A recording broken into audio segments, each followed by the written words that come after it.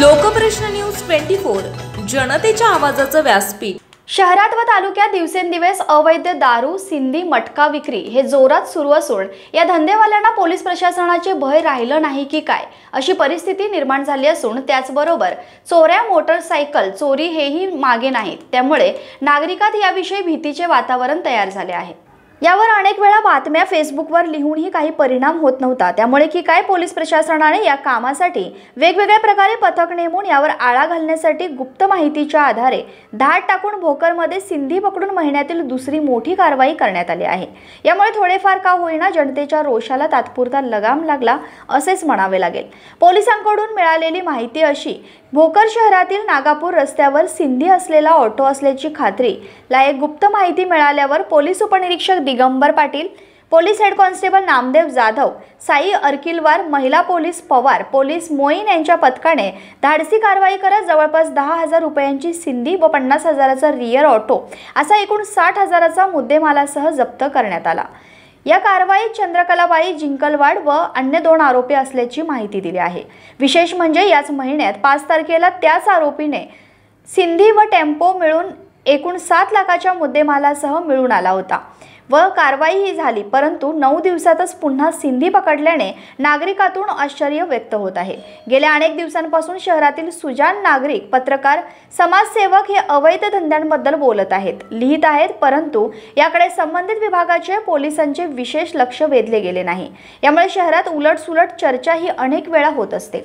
विशेषतः अवैध दारू सिंधी गांजा. गुटखा हे शाळा कॉलेज परिसरात अशा अतिशय संवेदनशील ठिकाणी खुलेआम विक्री होत आहे.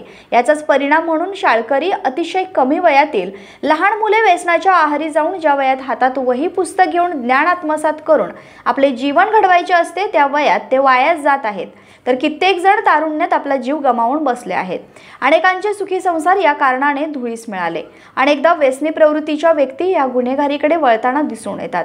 या कारवाईने नागरिकांच्या मनात एक आशेचा किरण निर्माण झाला असून संबंधित विभागाचे वरिष्ठ अधिकारी काय भूमिका घेतात याकडे सर्वांचे लक्ष लागले असून स्थानिक पोलीस प्रशासन अधिकारी कर्मचारी यापुढे असेच अवैध धंद्यांवर अविरत कारवाई सुरू ठेवून गुन्हेगारीला आळा बसावा अशी माफक अपेक्षा जनतेतून या निमित्ताने समोर येत आहे.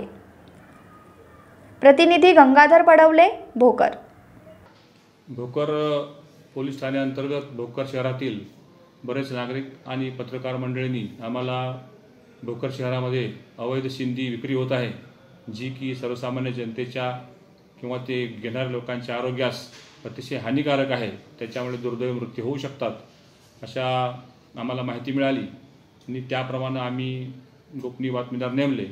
अशा प्रकारे आपण चालू महिन्यामध्ये डिसेंबर महिन्यात दोन मोठ्या रेड केलेल्या आहेत. पाच डिसेंबरला आपण साधारण साडेतीनशे लिटर सिंधी आणि एक सात लाख रुपयाचा टेम्पो असं सात लाख दहा हजार पाचशे रुपयाचा माल जप्त केला.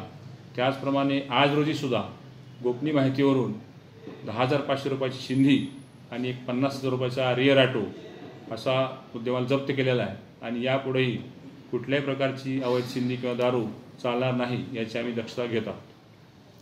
पहिल्या कारवाईत किती होते? आरोपी आणि आजच्या कारवाईत किती आहेत? पहिल्या कारवाईमध्ये चंद्रकलाबाई जिंकलवाड आणि त्याच्यासोबत दोन आरोपी होते. आजच्या कारवाईमध्ये सुद्धा चंद्रकला जिंकलवाड आणि इतर दोन आरोपी असे प्रत्येक कारवाईमध्ये तीन तीन आरोपींना आपण कारवाई केलेली आहे. सर आपली ही कारवाई आता हे कंटिन्यू राहणार का? अशी हो ही कारवाई कंटिन्यू राहणार. आम्हाला जर बातमी मिळाली की आम्ही रेड करणारच आहोत आणि शंभर टक्के अवैध दारू आणि सिंधी बंद करण्याचा आम्ही प्रयत्न करणार आहोत. आपल्या मार्गदर्शनाने झालेल्या आजच्या कारवाईमध्ये कोण कोण अधिकारी कर्मचारी होते? आज जी सिंधीची कारवाई झाली त्याच्यामध्ये पोलीस उपनिरीक्षक दिगंबर पाटील पोलीस हवालदार नामदेव जाधव महिला police constable Pawar police constable Adkhilwar आणि पोलीस हवालदार मोईन यांचा या आजच्या रेडमध्ये सहभाग होता. सिंधी दारू सोडून इतरही काही अवैध धंदे आहेत त्याकडे आपलं लक्ष राहील का? सर्वच अवैध धंद्याकडं लक्ष राहणार आहे आणि अवैध धंदे पूर्णपणे बंद करण्याचा आम्ही प्रयत्न करीत आहोत. मदत केली. या गाड्या शोधण्यामध्ये पोलीस उपनिरीक्षक Digambar Patil A S I Dilip Jadhav police हवालदार नामदेव जाधव मोईन परमेश्वर कळणे आडकिलवार आणि दोन होमगार्ड वाजिद आणि अझर आणि काही आमचे नागरिक मित्र यांचाही आम्हाला उपयोग झालेला आहे.